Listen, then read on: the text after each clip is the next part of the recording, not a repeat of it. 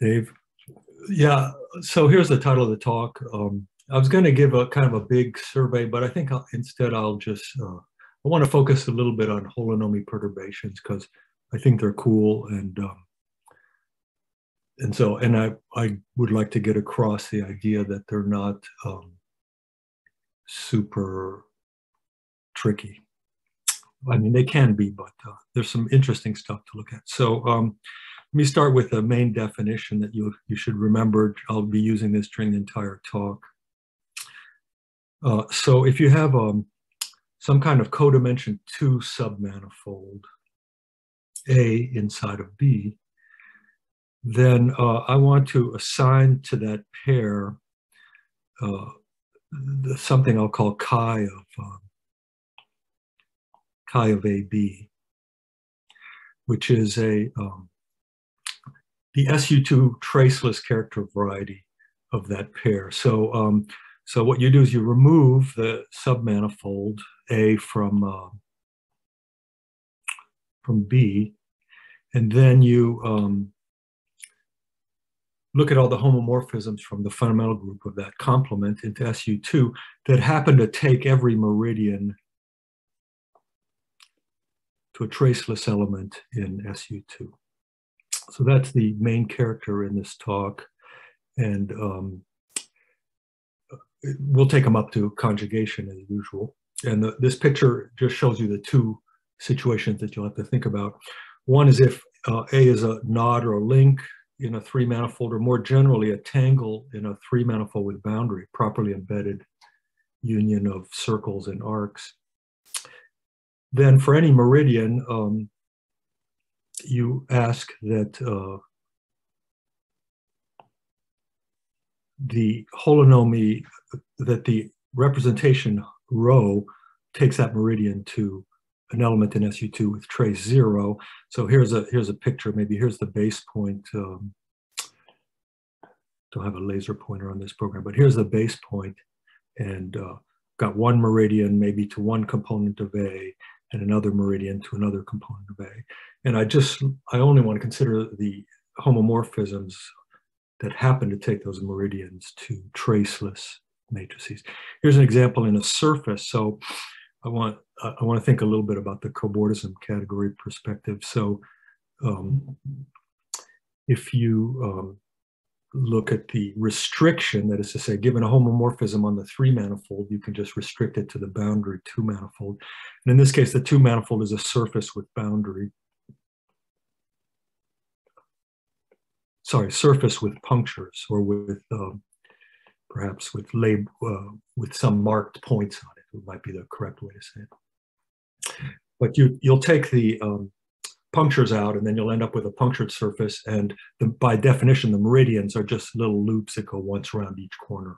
So there may be some other fundamental group around like maybe this loop and may, that loop would put no restrictions on but the ones that go around the boundary components will require that they be traceless.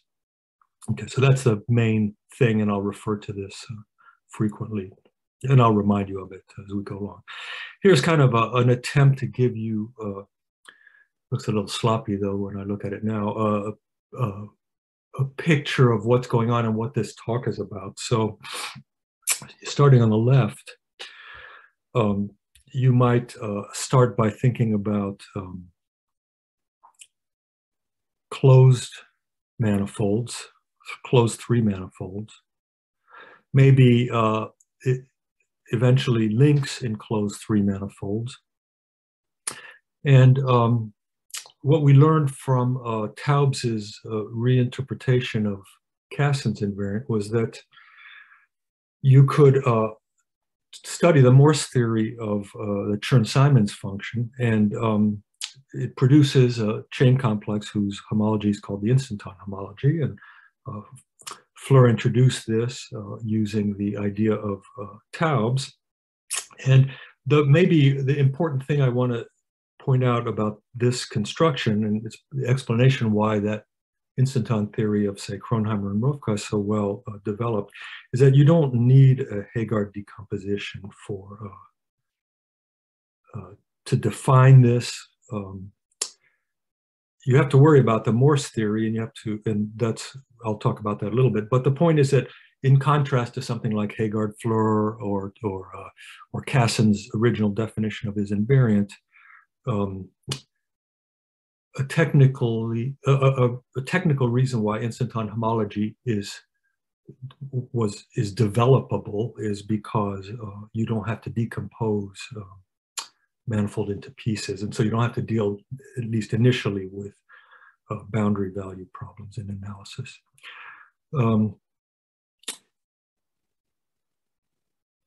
now, to extend this a little bit, um, so maybe in what this slide is meant to suggest is that an idea, it's, it's, it's what underlies the Atiyah-Floer conjecture, but maybe it's a, a, more sort of meta idea in modern uh, low dimensional topology, is that one way to try to produce uh, invariants for three manifolds is by a process that I've broken down into three steps here. The first is you start with uh, some kind of um, cobordism category. So, so that's a fancy way of saying you begin with um,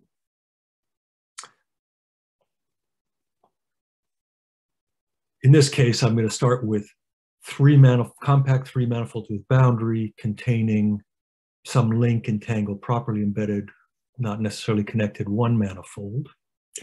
And if you'd like to produce invariants of that, then um, you can think of that as going through a process where you first pass to its character variety in the sense that I defined a minute ago. Here's sort of a reminder of what uh, of what that what that is. But um, you start with you take the character variety and you end up in something called the symplectic category. So it's a fact that goes back to Goldman and uh, Atiyah Bott uh, that if you have a two-dimensional manifold its character variety is admits a natural symplectic form, or at least the top smooth stratum of its character variety admits a uh, symplectic form. And if you have a um,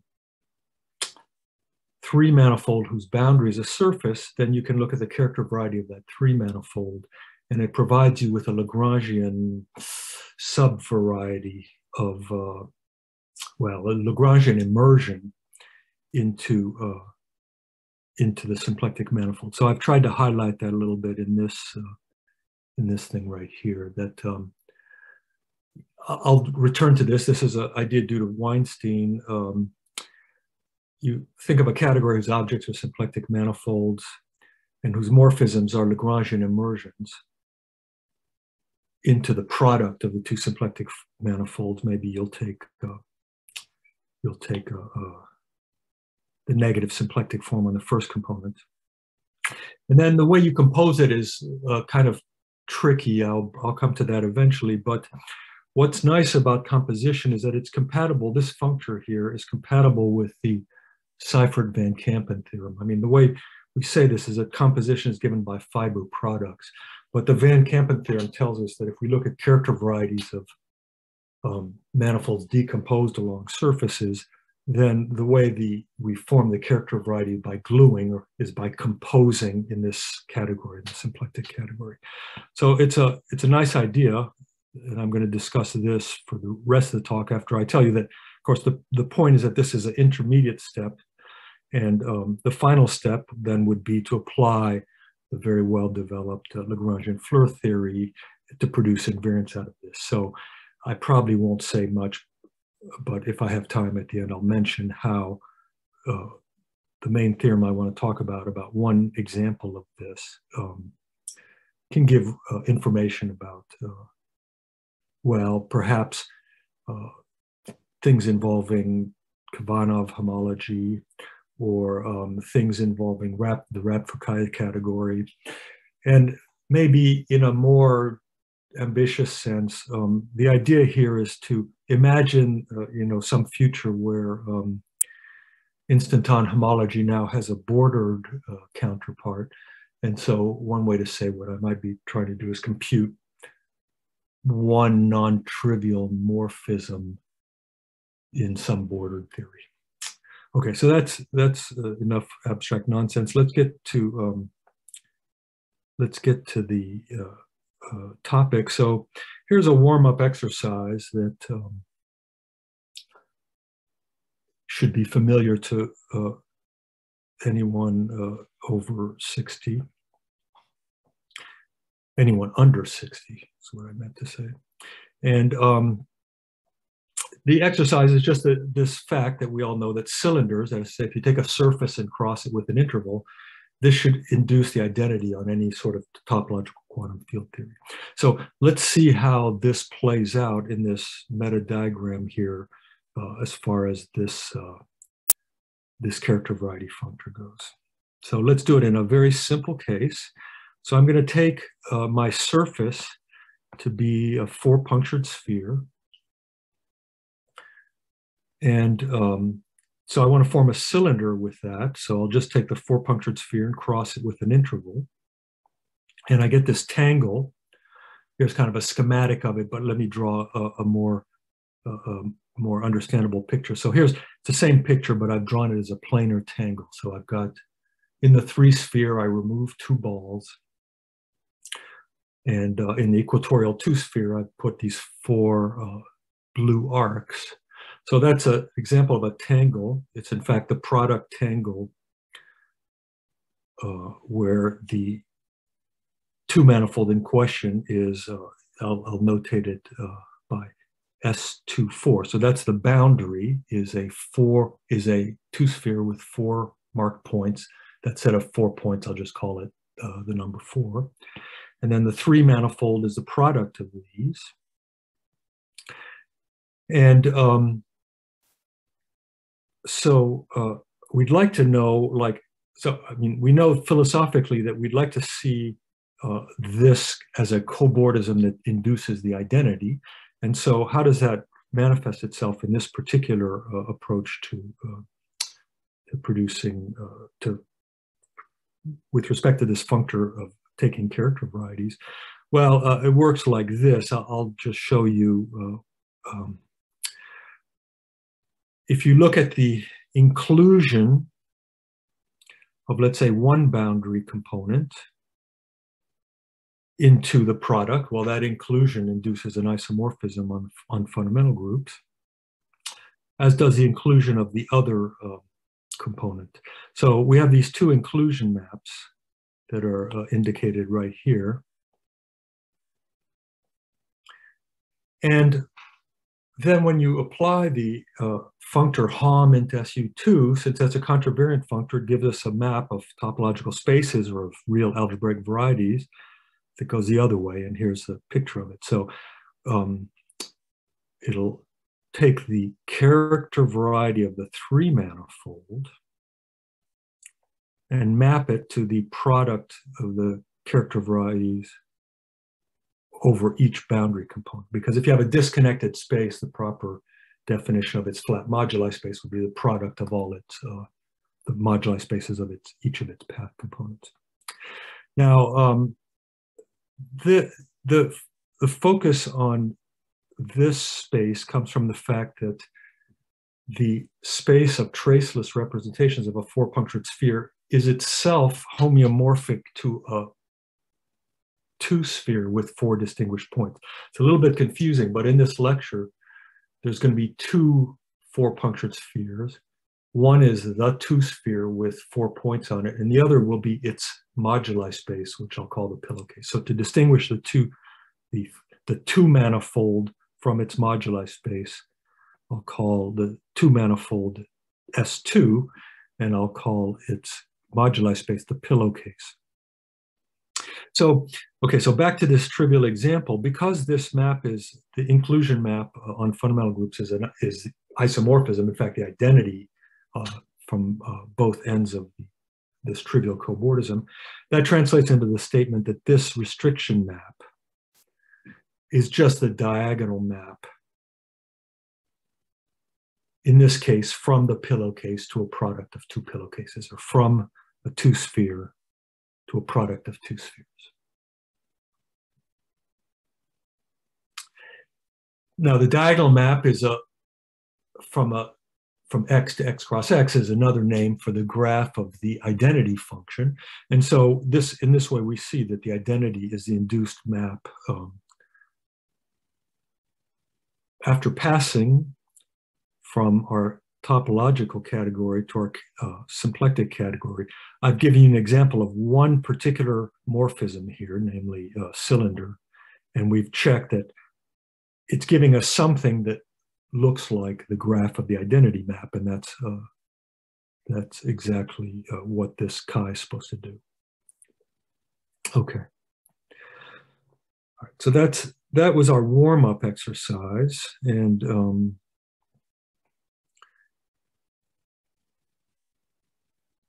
Now, let me say that why is this interesting? One of the things you can think of here is if you have a planar tangle, you could put in some kind of, uh, you can fill in the balls with different things. And um, so from a tangle, you can build a knot or a link in some three manifold. And the, stand, the basic fact is that the composition in the symplectic character, in the symplectic category corresponds to uh, gluing over on the cobordism category. So you could glue in these, uh, for example, these things and um, produce a knot or link and maybe try to understand its character variety by breaking it up into pieces.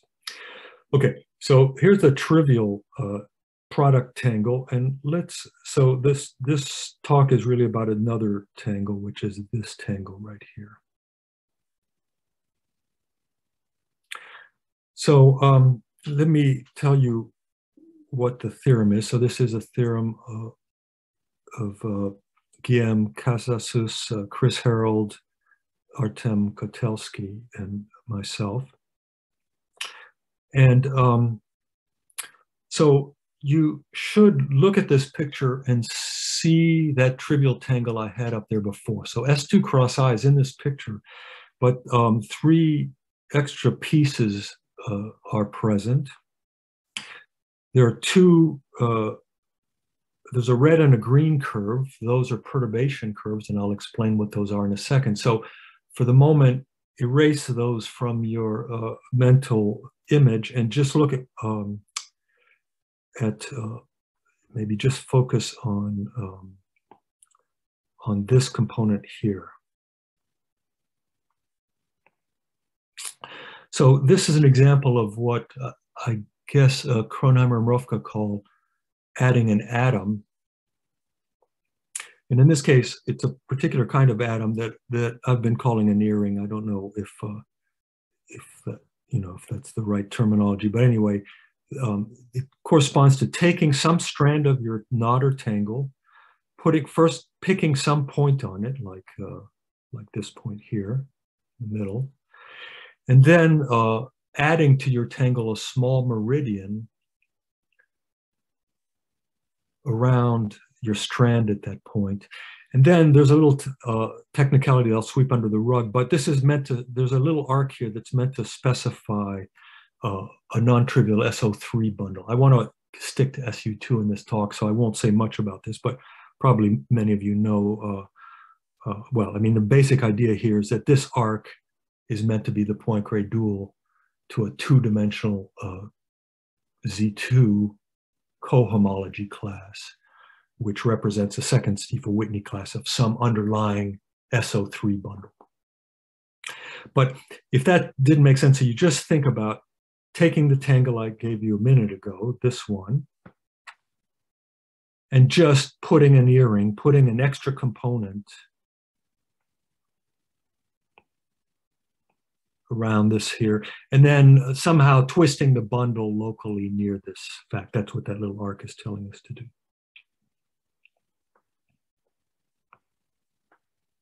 Okay, so um, there's a tangle. It's I, so I want to think of this as a morphism in some tangle category it's a morphism from the four punctured sphere, perhaps this one, to this one. And so when we apply our character variety functor, just like we did before, we, we should expect to get a morphism in the symplectic category from this, the, moduli space, the character variety of this sphere, which is a two sphere, it's, a, it's the pillowcase, to the pillowcase corresponding to this variety. So if you like, after the product um, tangle, this is maybe the next trivialistest uh, tangle that I could think of anyway. And um, so I'd like to explain to you how we figured out what this, uh, or the, I'm going to explain to you what the induced morphism is in this case when we pass to the symplectic category. And my, I think my main point is to convince you that um, from here on, you don't need to know anything besides the Wirtinger presentation, maybe a little bit about spherical geometry to uh, finish the calculation. So um, here's a uh, here's the tangle. We've put an earring on it, and now comes the thing that I find uh, kind of cool is the uh, notion of holonomy perturbation. So I've got two curves, a green curve and a red curve. Here's a red curve. And um, along those curves, I will holonomy perturb. So the, what that means is I will replace the character variety that you would calculate if you didn't have those two curves, green and red curve, by a nearby one in a certain sense, or maybe a nearby smooth fiber in some family, uh, some fibered family. And um, with luck, the nearby smooth fiber, the nearby fiber will be nicer. And, um, and in this case, it does. It is nicer and has some very nice properties, which I'd like to explain. So first, a statement of the theorem. So take this tangle and let's look at the representations. I'll, I'll write this. Let's see if I write it, if I have this written down somewhere. Um, Yeah, I'll, I'll specify uh, what that is. I'll give you a, a, better definition in a minute, but look at the traceless character variety of this uh, perturbed along these two curves. And there's a per perturbation parameter, uh, one perturbation parameter S, which I will uh, introduce in a few minutes. But here's a statement of the theorem that if you apply these two perturbations and look at the resulting traceless character variety, uh, it turns out to be a smooth genus 3 surface. And um, the second part of the theorem, which is really kind of the hardest part, is the identification of the restriction map of this smooth surface to the boundary pillowcases.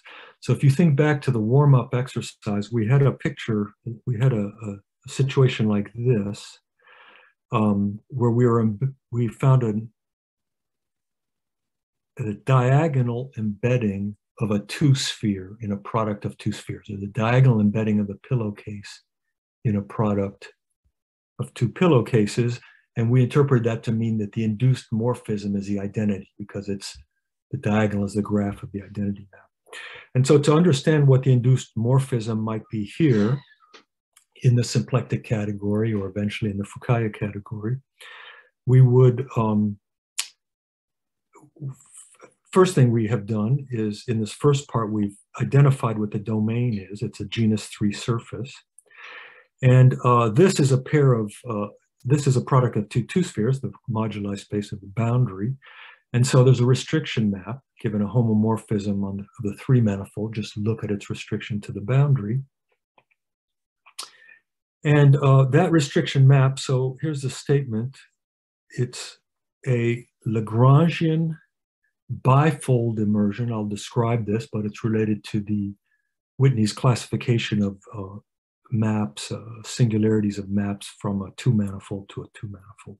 So it's a certain kind of uh, immersion. It uh, it has uh, singularities when you project onto each of the two factors. So it's an immersion as a map into the four manifold S2 cross S2. But if you project onto the two factors, you get a map from a genus three surface to a two sphere that map is generic and uh, stable. And in fact, it's the following map. So here's a picture that describes the second part of this theorem. So in pink, you see a genus 3 surface. That's the perturbed character variety of the tangle that I drew a minute ago, the product tangle with an earring attached, and the two perturbations turned on. So I'm assuming S here is non-zero. And um, so you should see this as a genus three surface. Think about a, a pair of parallel two spheres and I've put four uh, handles between them. And I can map that down to a two sphere just uh, in the manner indicated here. So, um, so there's a, a map, uh, sorry. There's a restriction map. You can see that it's not surjective. In fact, its image is, um, you know, is everything away from these four points in the pillowcase, which uh, which indeed are singular or orbifold points if you think of them uh, carefully. So uh, part of the usefulness, and I'll come back to this, uh, of the this conclusion is that not only is this a smooth manifold, uh, but its map to its restriction map is actually uh, the following. So it's a product. Yeah, so here, this, this restriction map, it's the product of its two projections, but it turns out that they're both of this form. And now, uh, here's the only here's something that's easy to understand, and if you get it, you should be okay for the rest of the talk. So um, I want to describe a map from a genus 3 surface to a pair of two spheres. And what I've done in this picture is described a map from a genus 3 surface to a single two sphere, namely this fold, this Whitney fold. There's a fold along this set, so the function is not an immersion along these four circles these four circles are mapped to this. That's what the projection to the first factor is. How about to the second factor? Well, it's the same thing, except you should first perform a single Dehn twist around each of those four yellow curves. So uh, here's maybe a different perspective on, uh, on this map. So here's, a, here's the same picture I just drew, but perhaps in a more elementary way. So here's a genus 3 surface. And I'm going to map it to a two sphere by first, you know, folding this surface along those four circles. Think of like a, you know, you've got that genus 3 surface made out of cloth and you just kind of stick your stick four fingers in and, and push them in. So, so this is a two to one map, except along those circles where it's one to one. And then uh, just include that in the pillowcase, like put a, a, a glove on the pillowcase with its singular points uh, sticking out. So that's uh, one map.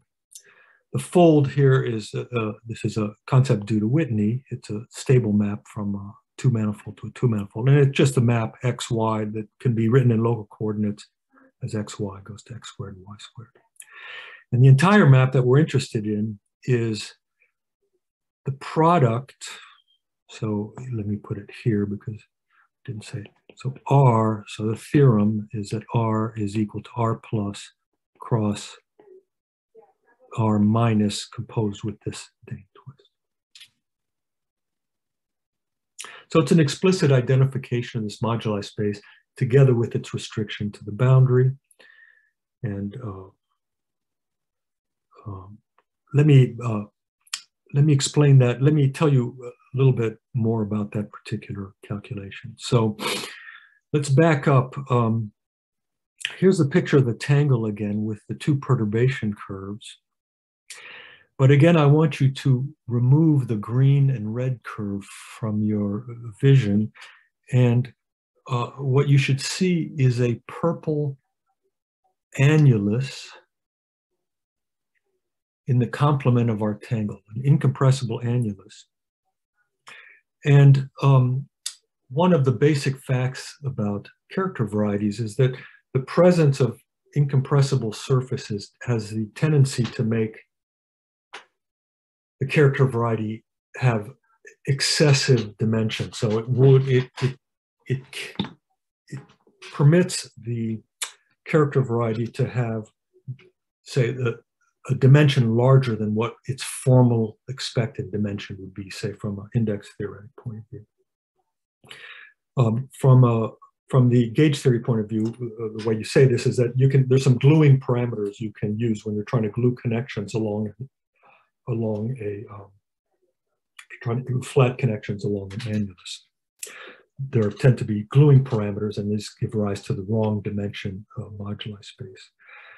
Um, and so, at the very least, if we're going to succeed in making this a nice uh, character variety, then one of the things we know is we need to find some perturbation curves that pierce every incompressible annulus and torus. In this case, there are no, no incompressible tori, but that pierce through every incompressible annulus or torus. Otherwise, we would not expect to get a Lagrangian immersion of the right dimension.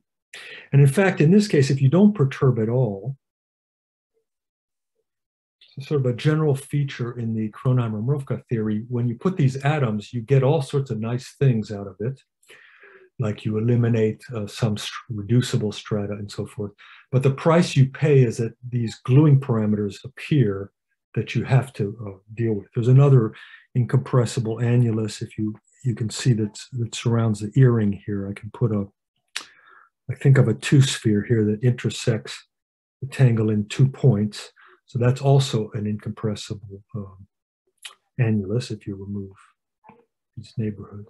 And so you see that whenever you place this atom or this earring on one of the strands, you immediately leave the generic world.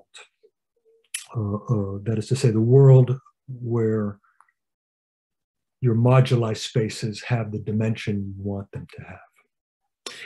Uh, in fact, let me just tell you that it's it's an easy exercise. In fact, if you don't worry about the perturbation curves, but you just look at the tangle with the earring itself, it's easy to tell that it's moduli space, it's flat traceless moduli space,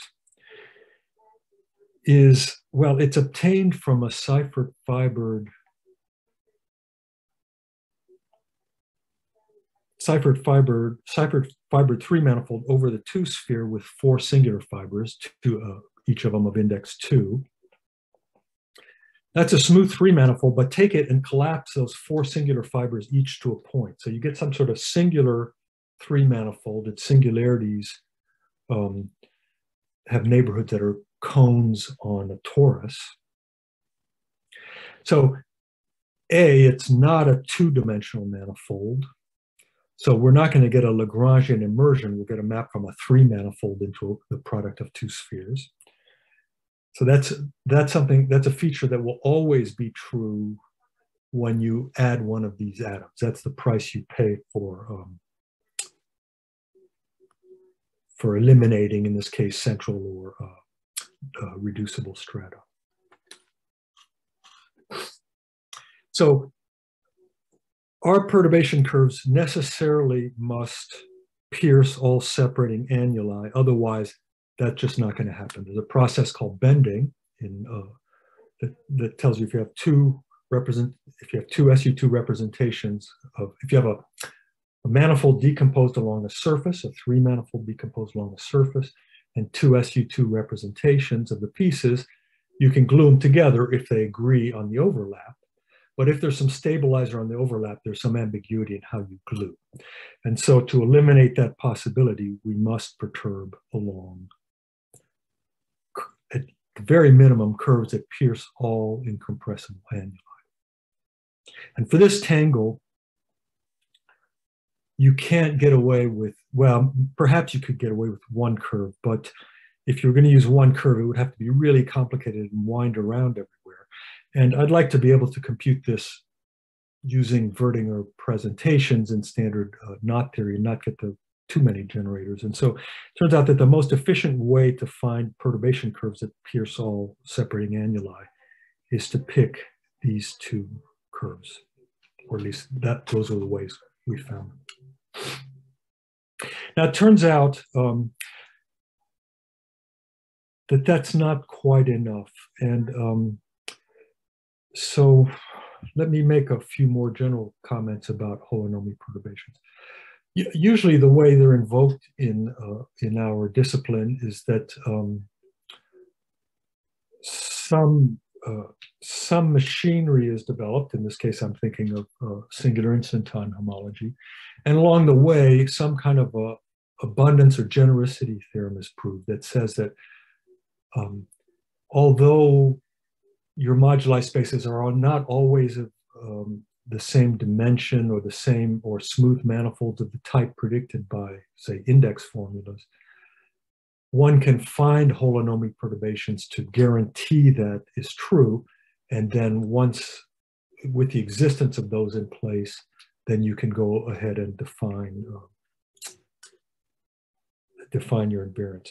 But I, am more interested in the question of just maybe the art of finding those perturbation curves themselves, because um, knowing that you can smooth a moduli space is not the same as knowing exactly what that moduli space is and how it maps. You can get some information, but uh, but there's certain things that are not uh, that don't just follow abstractly. I mean, one particular one that uh, that's always uh, puzzled me is that if your moduli happen, space happens to be a circle, let's say you had a closed three manifold and its flat moduli space contained a component,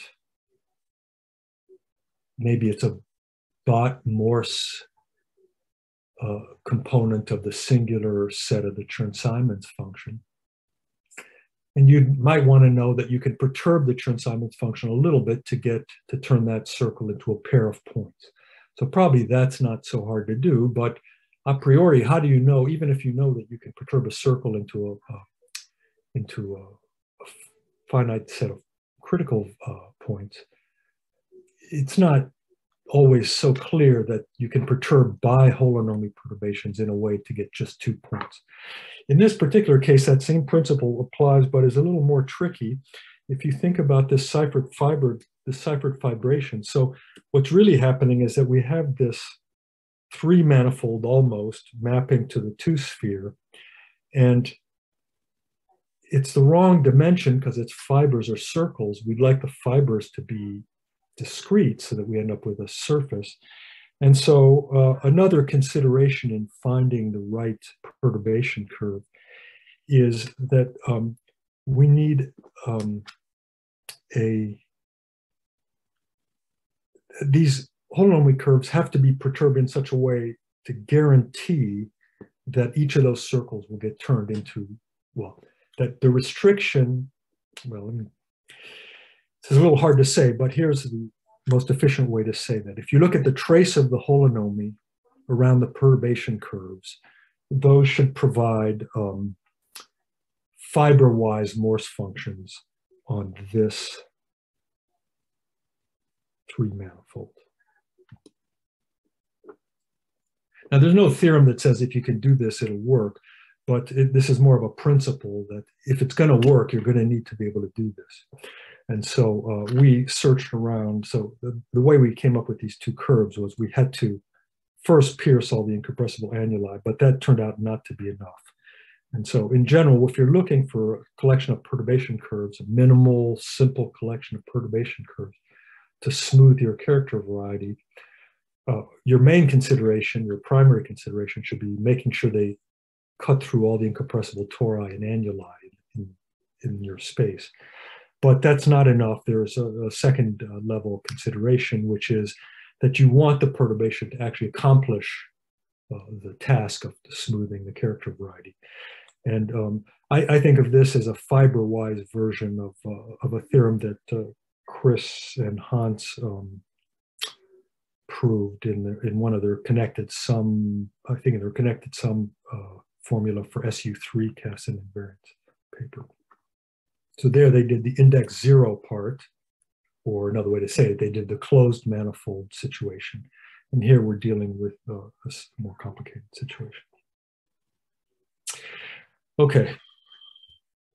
So let's talk a little about, about holonomy perturbations. So this is a concept due to Taubes, uh, or at least that's how I think of it, although in, in the paper where Taubes introduces it, he uh, attributes the idea to Donaldson. Uh, Donaldson had something similar in his orientation of Yang-Mills moduli space paper. So there he was doing perturbations um, in a four manifold. And in this case, we're doing uh, perturbations in a three manifold.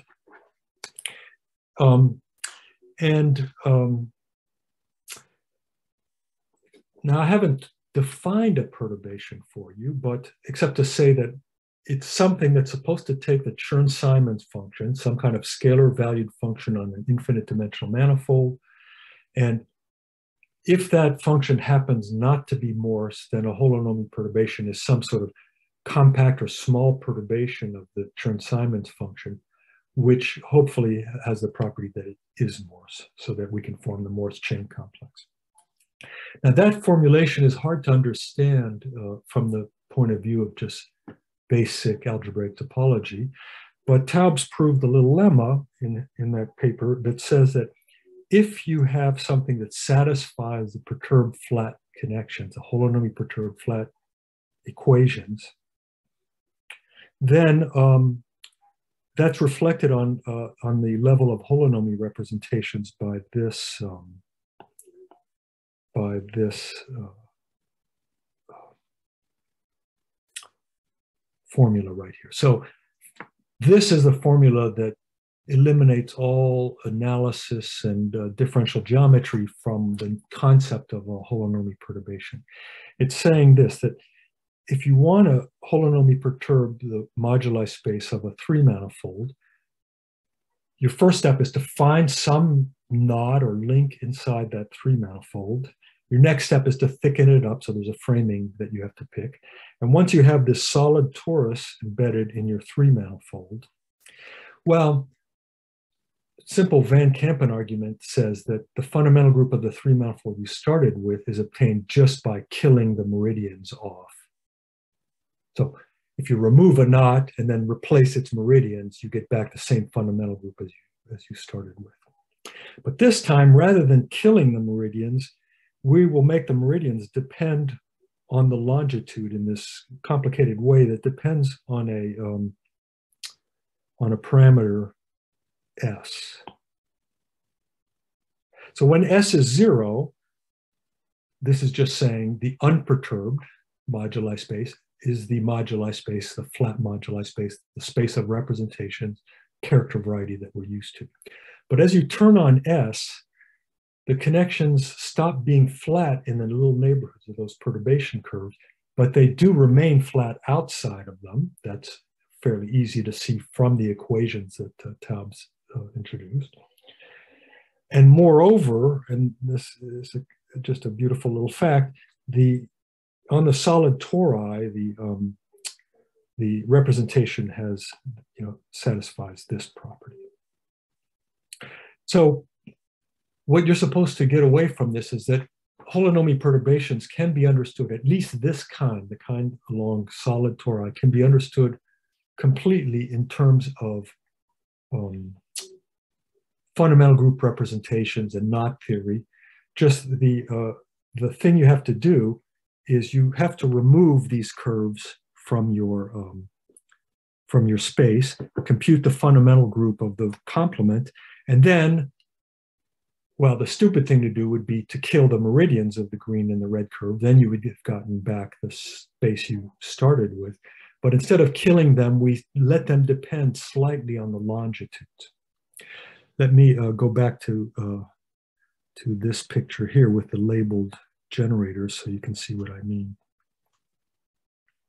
So here's a picture that uh, if you've read Rolfsen, you know how to calculate the fundamental group of the complement of this tangle in S2 cross I. You have uh, generators uh, A, B, C, D, E, F, G, H, W, Q, and P.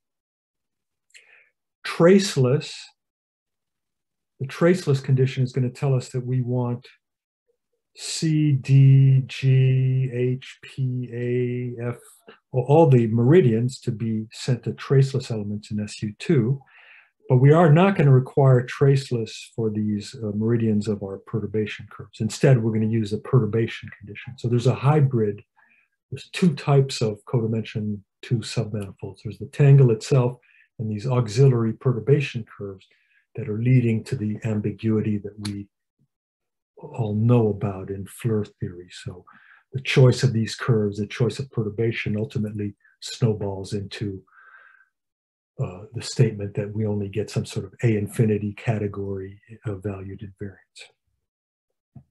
So let's go back to uh, reality here. Um, so here's the uh, here's a pic a color coded picture that explains what I just tried to say.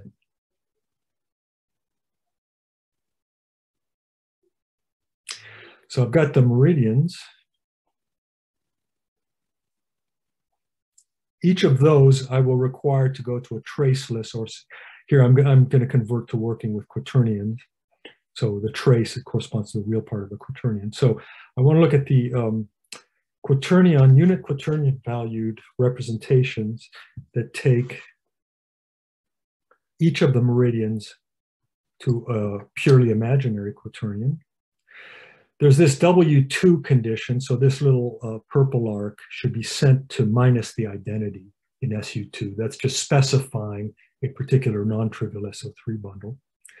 And then we have our two holonomy perturbation conditions that have to be satisfied for the green and the red curve. And those conditions establish a relationship that depends on a perturbation parameter between the meridians of the perturbation curves and the longitudes. And I've written the meridians here for you. You know, for example, the meridian of P, or excuse me, the longitude. The longitude of P would be, well, you start here and you go, see, underneath this. So there's a, um, a B. Here's B, so you can see that's the same and then it goes through H. So BH is the longitude for the red curve, and uh, F A inverse H is the longitude for the green curve. Okay, so in summary, the theorem that we proved boils down to writing down a presentation for the fundamental group of this and finding one, two, three, four, five, six, seven, eight elements, eight traceless elements in SU2. The, the two it's a two sphere of traceless elements in the three sphere. SU2 is a three sphere. Um, and we want this generator, W, to go to minus one, and then we need these relations between P and Q uh, and, the, and their longitudes to hold. So that's a, a list of conditions that you can place on a homomorphism from pi 1 of this tangle and perturbation complement into SU2. And the question is, what is it? And the answer is the configuration of all such up to conjugation is a smooth genus 3 surface. And it maps to the pillowcase in the way I described before.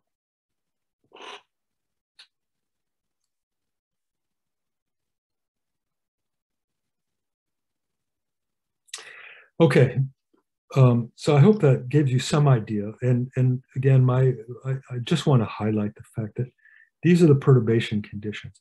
If you look at the more general types of perturbations, for example, the ones that uh, Kronheim and use, where they um, perturb along, let's say instead of solid tori, we could say they perturb along handle bodies. Those are much more flexible and are very useful for proving genericity results but uh, they're not, they don't have this explicit formula that we got from Taubes right here. Uh, uh and in a sense, they can't because unlike the moduli space for a torus, which is itself a pillowcase, the moduli space for higher genus surfaces is singular, and to describe Lagrangians in there is really is tricky, and it's I mean something that's studied, but uh, there the there's not enough control to know to be able to nail down exactly uh, what is happening on the boundary like this formula does for perturbating along solid tori. So that's the explanation for why, at least in our work, we tend to only perturb along along uh, a link as opposed to a more general perturbation, which might be better for genericity, but not so useful for calculation. Okay, let's see. Um, the proof uh, of this, I should say, is so, you know, the paper is kind of hard to read and we're reworking it a little bit now, but it's not, it's not deep. There's no uh, complicated ideas in it. Um, it's you Wirtinger presentations, uh, a lot of spherical geometry, which is really beautiful. It, it's really weird in this subject how, you know, you're sometimes you argue by manipulating group uh, relations. Other times you argue by using specific facts about the geometry of the two spheres in three space. And uh, it's, at least for me, it's mind blowing. Like when I think about the uh, Kronheimer-Mrówka uh, theorem that says that um, non-trivial knots have non-trivial SU2 representations. It's really weird when you're in the guts of this subject. It's uh, it's it's weird how a lot of your work is happening in SU2, not just in the three manifold group. And so, I don't know, I find it provocative to think about why, I mean, why is the Kronheimer-Mrówka theorem true? It's true because it's proved, but it's hard. It's a hard theorem, as we know. Okay, let me finish just by uh, uh, listing a couple of related works. There's there's a lot of things that that I could relate to what I said, but I, I did want to advertise a little bit. One, um, uh, David Boozer has done a similar analysis for the following uh, tangle. So I gave you a theorem that identifies a perturbed flat moduli space and the restriction to the boundary for a four stranded tangle in S2 cross I with an earring added and, and two perturbation curves. Boozer does a similar thing here, except his three manifold is a solid torus. His tangle starts out being just one, um, one trivial strand in your solid torus. Then he puts an earring on it, uh, and I'll, if I have a few minutes at the end, I'll tell you uh, one of the interesting consequences of that. And then finally, he perturbs um, along this uh, core of the solid torus here. Holonomy perturbs. So it's the same, it's the same process for a different manifold. And in this case, what he proves is that the moduli space in question, the thing that takes that, that plays the role of our genus three surface, in this case, it's a two sphere, a smooth two sphere, and the thing that plays the role of, in our theorem of the S2 cross S2, or the pillowcase cross the pillowcase, is actually more complicated in his case. So it's a, it's a, the character variety of a twice punctured torus is, is not quite as nice uh, as the character variety of a punctured sphere. In fact, he identifies it as a union of two pieces uh, four-dimensional pieces, one of which looks like uh, you, you take the product of two two spheres and remove its diagonal. And the other is something else. And Boozer does identify the image of his two sphere in this four manifold. So the Lagrangian immersion from the two, from the two sphere to the product of two two spheres. So it's a very similar result. And in his case, he uses this to get estimates on um, on uh, bounds on instanton homology for certain types of knots in lens spaces. Another uh, related work is uh, Kai Smith has looked at this tangle. So you can perhaps think about um, planar tangles if you wanted to study knot diagrams. Uh, so any knot diagram can be obtained by you know, projecting your knot and then putting a little uh, four punctured sphere around every crossing.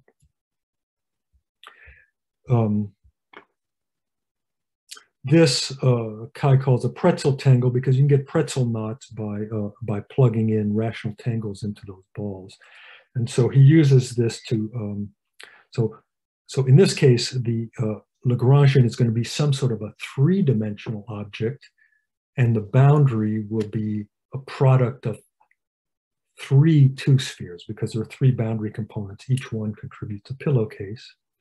And uh, Kai identifies the um, what that three manifold is. It's mildly singular and how it maps to the pillowcase. And from that is able to uh, get some uh, really uh, interesting estimates on instanton homology for number of knots, pretzel knots. Uh, you can also count bigons in, in some sort of proposed uh, theory called pillowcase homology. And it's quite interesting. Uh, so he, he gets this very interesting examples let's see uh, some other uh, some other things I want to advertise just because these uh, since I have the opportunity. Uh, Mark Ronenberg is looking at the at generalizing uh, the ideas of Taubes uh, and and also the things that Chris did in his thesis for three manifolds with boundary to the situation of surfaces with punctures. That is to say, to pr produce a pre-quantum line bundle of the moduli space of a surface with punctures, in such a way that the Chern-Simons function on uh, tangles is defined and defines a, a parallel lift of this pre-quantum line bundle. Another uh, sort of a uh, thing that's come out of this is that if you go back to the map that we described here, so I said that the restriction map was a Lagrangian bifold. So it's a map from a surface, in this case a genus 3 surface, to a product of two surfaces, in this case S2 cross S2. But you could ask in general, if I have a map from a two manifold into, let's say, a product of two surfaces, or maybe even into a Lefschetz fibration, you could ask, what does the generic Lagrangian immersion look like? And it turns out that uh, what uh, uh Zhang proves is that uh, up to a Lagrangian regular homotopy, you can always make it generic in the sense of smooth singularity theory. That is to say, you can always make it have only fold singularities, like this example has. And you can even make the folds, in this case, the folds are embedded, but you could, in general, the folds might be, um, the folds might be immersed curves. Uh, and so you can make them generically immersed. You can make them self-transversed. And so that hints at a way to study, um, especially if you apply the uh, Wehrheim-Woodward uh, machinery, which is a way a quilted Floer homology machine, which is their uh, solution to to producing Floer invariants on the symplectic category. If you apply that, then it, it, shows that at least in the case of surfaces mapping to products of surfaces, there's a chance of combinatorializing the situation because these are very rigid maps and they have very special topological features that perhaps enable you to avoid holomorphic disks, which um, of course is something that any topologist might want to do. Okay, uh, and I'm out of time, so let me just uh, put up one last picture, which is the encapsulation of what our theorem says in maybe in modern language. And it says that the earring correspondence can be thought of as a function from Lagrangians in the pillowcase to itself. And it has two features. One, if you pick a curve that stays away from the corners, then the only thing that's happened is that that curve is doubled. On the other hand, if you happen to take a curve that starts and ends at one of the corners, it's not quite doubled, it's turned into a circle. And so one way to say this is that um, this gives a functor on the Fukaya category, on the wrapped Fukaya category of the pillowcase, which magically takes its values in the compact subcategory. And so if you're attempting to understand the Atiyah-Floer conjecture, and you want to know what does putting one of these Kronheimer-Mrowka atoms do for you? Well, what it does is it moves you away from all the nasty points into the nice smooth part, this nice smooth locus of the um, character variety. And that's that's good because then perhaps you can start looking for bigons and uh, and polygons and find uh, sort of higher uh, mu maps that might reveal some interesting structure. And in fact, we did that in, in some other work that I don't have time to talk about, but uh, but it does lead to connections with Khovanov homology and uh, and it's a, and ultimately it you can think of what we're doing as kind of a baby version of what um, what uh, Hanselman, Rasmussen, Watson, and then later Kotelskiy, Watson, Zibrowius did on the level of bordered Heegaard Floer and bordered Copenhagen. Okay, I'll stop here. See if there are any questions.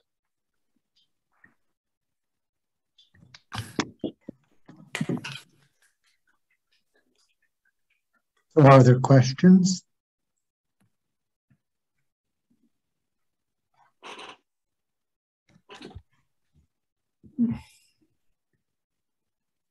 Um, I have a question. Yeah. Uh, hey, Ian, how you doing? Hey. Um, yeah. So I guess, uh, do you, what do you expect for instead of looking at the like identity uh, tangle, like I don't know, like a single crossing or maybe like more general uh, braid of some sort, maybe cups or taps? I didn't catch the end of your question. What do I expect for general tangles? And then yeah, or just like elementary, uh, like tangles, like in the in, in S two cross I. Um, uh, yeah, so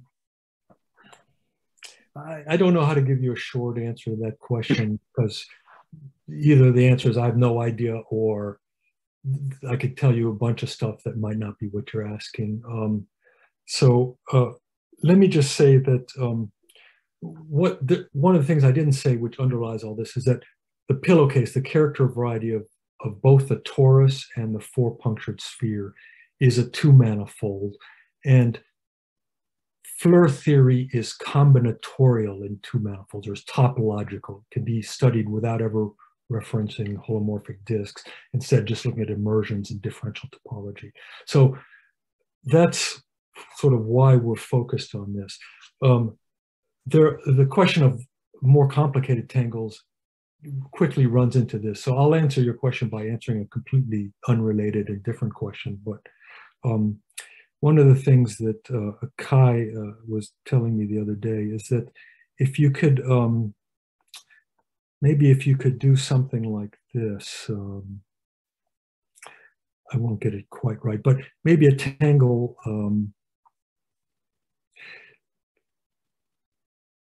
yeah, I, I'm just going to draw maybe an example of a tangle.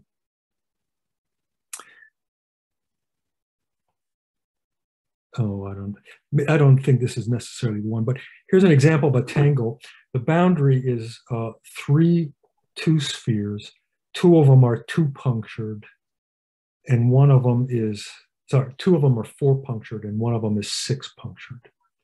And that six punctured guy i just don't know what to do with. There's some symplectic geometry that needs to be done. It's a its moduli space is not a smooth manifold. It's got isolated singularities and we, we know a lot about it but as to whether Floer theory makes sense in in there that's kind of a hard question at least I don't have any idea to. And so any question about general tangles, probably if you were to ask me, I would say, well, are you talking about tangles, each of whose boundary components is a two sphere with four points on it? Then you can say something. If you're going to have two spheres with more than four points on it, then you're in a world where, I mean, there is there's some complete work of Wehrheim and Woodward in that situation, and they have a well-defined theory but it's not computable because ultimately it always boils down to trying to find holomorphic disks in a character variety, and that's that's hard. Okay. I was I was actually asking a completely different question. Yeah, but, uh, that was interesting too. Um, okay. no, I, I was just asking about like S2 cross I with yeah. like the four strands, but like a single crossing between two of them in your setting with like the earring and like holonomy perturbations. Okay, yeah. So um I mean what so if you're asking that question, like like maybe what if I did you know, I don't know, this. Yeah. You know, or maybe put some knot here or something like that.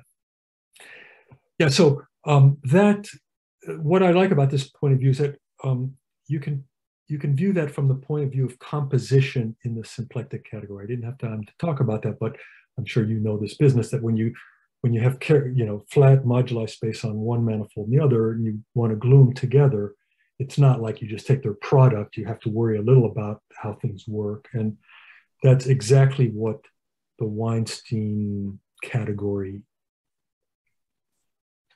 does for you. And so if I wanted to do, if if you were seriously asking me, how do you do this? The answer would be, well, I'd find some decomposition into simple pieces. Then I'd look and see whether any of those simple pieces have been analyzed in some previous article and if so, I'm happy. And if not, then I do a pi one calculation just like the one I outlined to you.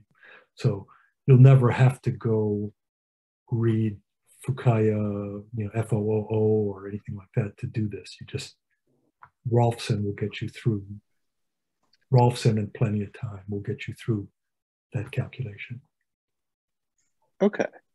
Yeah, that seems fair. I guess I I was wondering like if there's some trick that you can do with just like looking at the mapping class group of S2 with four punctures and like you automatically getting an answer without, uh, you know, much work. Oh, oh but... yeah. Okay. well, I can say this, that if you look at this, uh, Chris and I wrote this up a couple um, a little while ago, but if you take any surface cross I, including punctured surfaces, and you take a curve on the surface and push it in and do a holonomy perturbation on that pushed in curve, you can actually reinterpret that just as a Hamiltonian isotopy on the character variety of the boundary, It's a special kind called a, a Goldman twist flow. So the, the, yes, the mapping class group, you can, you can use that to study how the mapping class group, so for example, if your goal was to take a product tangle two puncture two sphere and then maybe glue them together to get something and and try to get some sort of gluing TQFT. You can do that, uh, but uh, the issue of perturbations is tricky. You know, you have to find all your incompressible annuli, and then this other condition I said about the curves have to have a nice property with respect to the holonomy. Okay. Thank you. Yeah.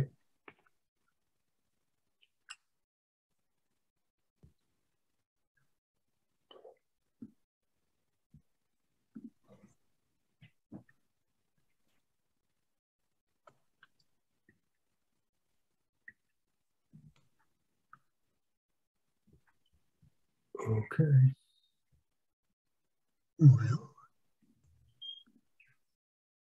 still a lot of people online. Are there other questions?